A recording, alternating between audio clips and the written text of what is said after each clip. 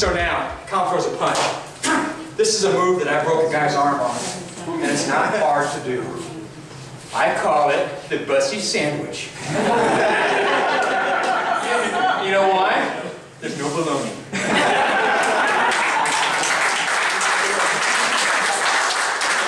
so what's happening here, and here's how you practice it, folks. Take your left hand like that. Take your right hand like that. Together. Now, go that. Now, is that going to be able to do all that street fight and all that? Well, maybe if you do it like me, I've done it a million times. And the guy that was punching me that I broke his arm was really hitting me as hard as he possibly could, which makes it even better for me. It's harder when he's missing me. But when we were going full contact power, bare knuckle, well, he was so committed that when I did the move, it broke his arm. And so, anyway, he throws the punch. You see how I practice that? Do it again. Again. See how I did it? And it's not much different than trying to block it. That's a block to the outside. Here's a block to the inside. You know what I mean? It's not much different except that I'm sandwiching and I get my head out of the way in case I screwed up. If I miss altogether, my face is at least not quite there, you know? So I've fought guys where I, I'm not trying to do that every time. We're free, we're fighting and hitting each other and stuff, and he might throw one or something, and I wait for the right time, and then I get it. Nice. Are you with me? Yes, sir. So then after that, he throws that punch.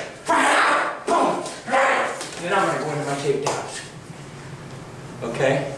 Now how am I getting there? First thing is, remember when he's committed, he's vulnerable. Now he's protected. Now he's vulnerable.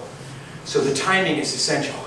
The second he's reached the peak of the punch, the hand that I just hit him with, I'm hitting and hitting again. It's not hard. I'm hitting and hitting again. So he throws it, I'm going bang, bang, before he gets a chance to throw a second punch or whatever. If he does throw a second punch, he's got to throw it over the top of that arm. You see? So here comes the punch. I go bang, bang. Then I grab that front arm. It's not left out there. He's retracted. Sorry, it's not in the edge of the face. I grab that arm, uh, and that's a good time to throw a nice low kick to the crotch, to the leg, to the crotch, or maybe the midsection, which is what I did. So he throws it, bang, bang, boom, grab that arm, hit it again maybe, and here comes the arm drag. My all-time favorite Bussey move, you remember it, Billy?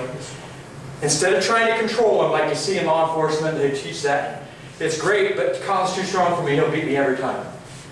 I don't go over, I go under and I protect my head. Now, pull your arm out of there. You see how I have a little control there? Not for very long, but I got him for a second or two. Sure. So now that I got that, I'm in a great spot to protect myself. I got control of the arm. All I gotta do is use that left, left leg to sweep out his leg.